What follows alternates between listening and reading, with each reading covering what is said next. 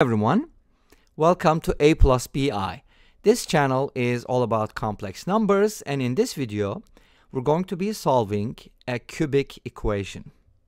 We have z cubed plus z squared plus z equals negative 1 and we're going to be solving for z values. So we have a number the sum of whose cube, its square, and itself equals negative 1. Is that possible? Think about it, try to guess, and then we'll check. I'll be presenting two methods, and you'll see how we can proceed with the methods because I got some results from Wolfram Alpha. I hope, I hope you know that page, the website that allows you to calculate these kinds of things, but sometimes it fails, but that's okay.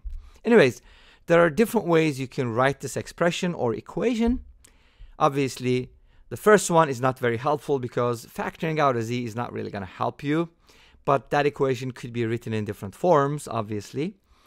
Second one is good, but since uh, it's the second one, that's going to be our second method. And the third one is going to be our first method because we don't have the third method. Maybe there's a third way to solve it. I don't know. Please let me know if you do. Now, I'm going to start with the third one, and that's going to be my first method. So what is the first first method. The first method is using the cubic formula. Is that a formula? Yes. For cubics and quintics, I mean, did I say quintics? No, I mean quartics and cubics and quadratics. Linear is easy, but unfortunately, not anything above and including quintics. Anyway, so here's what we can do. Replace z plus one third with y, and don't question why and you're going to get y cubed plus 2 over 3y equals negative 20 over 27. So I subtracted the constant from both sides because that's what the cubic formula requires or necessitates. Here's what we're going to do. We're going to go ahead and write the formula underneath so we can kind of compare a plus b cubed minus, I think that was a minus sign, 3ab times a plus b equals a cube plus b cube. Hopefully you know this identity because I use that a lot. If not, then it's easy to check. Anyways, so from here, I'm going to, first of all, I want to set y equal to a plus b. So it's going to be a plus b to the third power. So, which means this number right here is equal to the coefficient of y, because this is y and this is y and that happens to be two-thirds. So this is two-thirds, and this is negative 20 over 27. That, guess what's that? That's going to give you? If negative 3ab is two-thirds, multiply both sides by negative one-third, you're going to get ab equals negative 2 ninths. Great. And then a cubed plus b cubed equals negative 20 over 27. We kind of got like two equations. Is that a cubic system?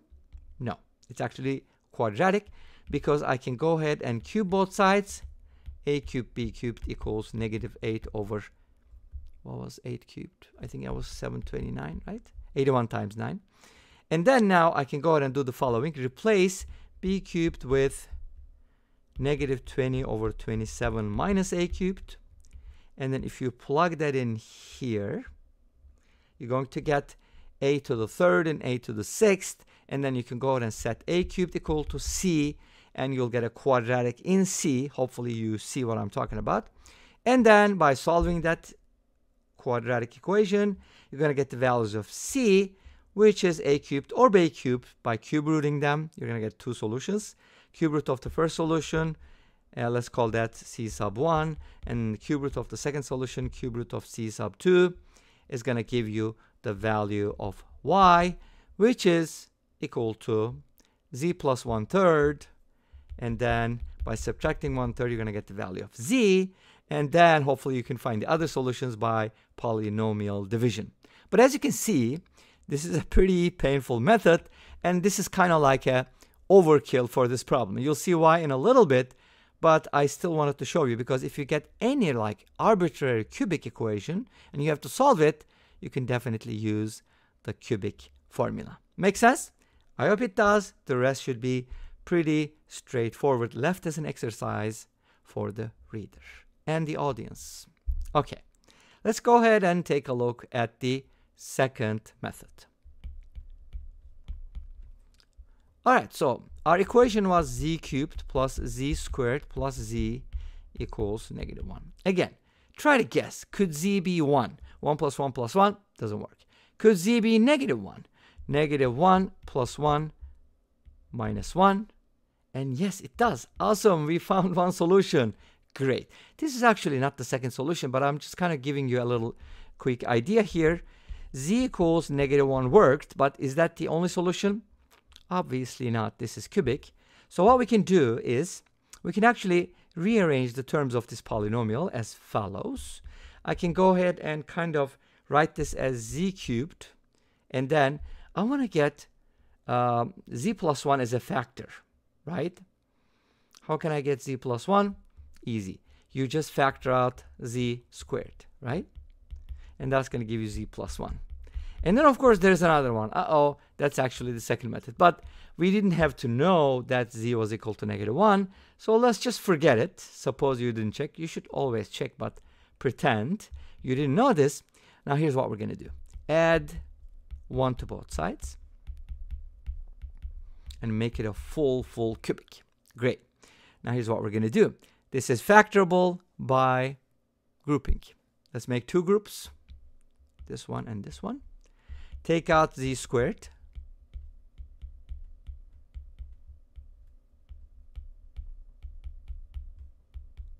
And then now z plus 1 is a common factor.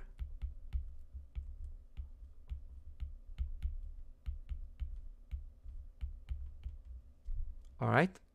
And then we're going to set each factor equal to 0 to find the solutions. If z plus 1 is equal to 0, we're going to get z equals negative 1. And if z squared plus 1 is equal to 0, then z squared equals negative 1. Remember the number or the numbers whose square equals negative 1 or whose square equals negative 1. And that will be i, right? The infamous imaginary number. So z can be i or negative i. A lot of times people say, what's the square root of negative 1? i. Well, there are two square roots i and negative i because when you square both or either one, you get negative 1. So there are two solutions and a total of three solutions to this equation. z equals i, z equals negative i, and z equals negative 1. Now, you could definitely proceed a little differently once you realize, uh-oh, negative 1 is a solution. You could also do the following. You could just do a long division, divide this by z plus 1, z goes into z cubed z squared times, so on and so forth. It's going to be the exact same thing. Not too hard. It's pretty straightforward. Anyways, this brings us to the end of this video. Thank you for watching. I hope you enjoyed it. Please let me know. Don't forget to comment, like, and subscribe. I'll see you next time with another video. Until then, be safe, take care, and bye-bye.